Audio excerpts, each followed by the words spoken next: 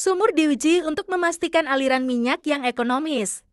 Jika tes menunjukkan hasil positif, maka sumur diproduksi. Minyak diangkut ke platform produksi dan kemudian ke darat untuk diolah.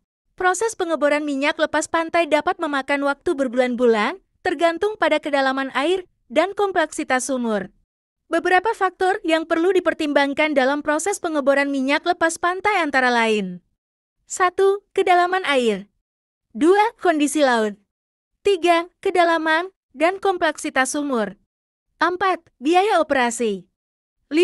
Dampak lingkungan Perusahaan minyak dan gas bumi harus mengambil langkah-langkah untuk memastikan keselamatan pekerja dan melindungi lingkungan.